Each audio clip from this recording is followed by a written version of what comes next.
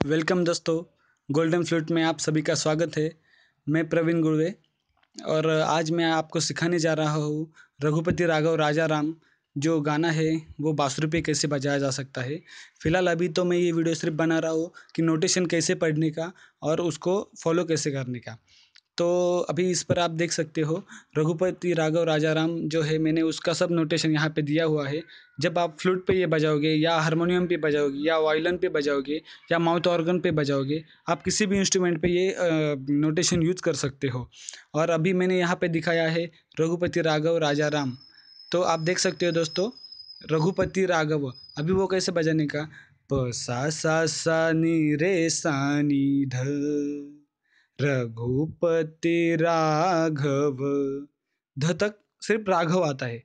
रघुपति प सा सा। सा रघुपति निरे सानिध राघव निरे सानिध राघव, उसके बाद राजा, राम। नीरे नी नीरे के बाद जो ऐसा यस जो दिख रहा है ना आपको वो यस मतलब जो उसके पहले का जो स्वर रहता है ना अभी रे है ना तो वो रे, रे को थोड़ा लंबा करने का है दोस्तों। अभी देखो राजा सॉरी राजा राजा तो जा जो है ना वो रे लंबा करने का इसलिए मैंने वो यस किया है वहाँ पे देखो। राजा राम राम तो इसलिए राम रे म ग म, राजा रे ग म रे म ग म। उसके बाद आगे। हाँ और एक बात मैं आपको बताना भूल गया दोस्तों, कि अब देखो रघुपति राघव, राजा राम पसा सा सा नीरे सानी जो नी के नीचे मैंने अंडरलाइन जो किया है ना, वो ये देख सकते हो आप, ये नीज है, इसके नीचे जो अंडरलाइन किया है मैंने यहाँ पे वो अंडरलाइन इसलिए किया है दोस्तों, क्योंकि जिस स्वर के भी नीचे अंडरलाइन रहेगी, वो स्वर कोमल रहेगा। अगर आपको कोमल स्वर के बारे में कुछ दिक्कत रहेगी तो मैं आपको आगे वाला जो ट्यूटोरियल में उसमें बताने वाला हूँ कोमल स्वर की प्रैक्टिस कैसे करने की, और कोमल स्वर के लिए स्पेशली प्रैक्टिस दूँगा मैं आपको। वो आपका आगे, अगले वाले वीडियो में आप वो भी देख सकते हो। फ़िलहाल के लिए अभी मैं सिर्फ़ उसको नोटेशन कैसे पढ़ने का, वो बता रहा हूँ। तो आप इसमें ये भी सीख सकते हो। राजा राम हम यहाँ तक आए थे। रघुपति राजा राम हाँ अभी आगे, पतित पावन सीता नाम पतित पावन सीताराम। तो अभी कैसा? रे ग, रे सानिध मतलब पावन तक। रे ग, रे सानिध सीताराम कैसे नी ग सा, नी नी कोमल, ग भी कोमल। अभी अगर आप फ्लूट पे बजा रहे हो तो नी ग सा, नी और ग दोनों भी कोमल आते हैं यहाँ पे।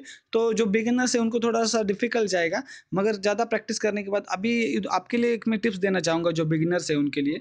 अगर आप बिगिनर्स हो तो जो नी और ग, अभी ये आपको अगर बजाने में थोड़ा दिक्कत आ रहा होगा तो आप सिर्फ़ नी ग नी ग इसकी सिर्फ़ प्रैक्टिस करो नी ग रेसा नी ग रेसा नी ग रेसा, तब जाके आपकी उस पर अच्छे कमांड आएगी और आप अच्छे से बजा सकोगे। तो दोस्तों, आगे देखते हैं। ईश्वर अल्लाह, ग ग ग रे सा रे, ग, म ग, म, तेरो नाम। सबको सम्मति दे भगवान रे रे मामा पद पम गे सा अभी रे रे मामा पध प, अभी पध प, वो जो दिया है पद प तो जो ध जो है ना दोस्तों, वो तीव्र स्वर में आएगा हुँ? हम्म? तो आप बजाते टाइम पे आपने को ऑटोमेटिक आपके समझ में आएगा वो पध और ध जो है वो कोमल बजा है वहाँ पे। और प, ध, प, म, ग सा, म, जो दे, भगवान तो दे दे जो है वो म थोड़ा लॉन्ग नोट करने का उसको म को थोड़ा सा पकड़ के रखने का है। तब जाके वो फील आएगा, दे भगवान।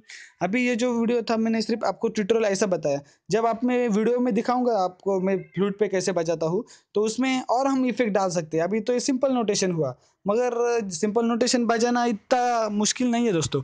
मगर अगर आपको उस पर ज़्यादा वेरिएशन देना है या और इफेक्टिवली बजाना है तो उसके लिए थोड़ा ज़्यादा प्रैक्टिस लगता है थोड़ा एक्सपीरियंस लगता है। तब जाके वो और अच्छा और, और इफ़ेक्टिव लगता है। तो दोस्तों आप इस पर भी ध्यान दीजिए कि जो अभी मैं वीडियो अगला जो दिखाऊँगा उसमें इफ़ेक्ट कैसे डालने का वही गाने पे वो भी, भी आपको दिखाऊँगा। और सच में अगर आपको मेरा वीडियो अच्छा लगा हो तो please don't forget to subscribe my channel और लाइक करना ना भूलें। अगली वीडियो में ज़रूर मिलेंगे और इससे भी अच्छा जो मेरे पास आपके लिए कुछ रहेगा तो मैं आपको ज़रूर लेके आऊँगा। और बोलते टाइम कुछ गलती हो गई तो माफ़ कर देना। थैंक यू जय श्री कृष्ण।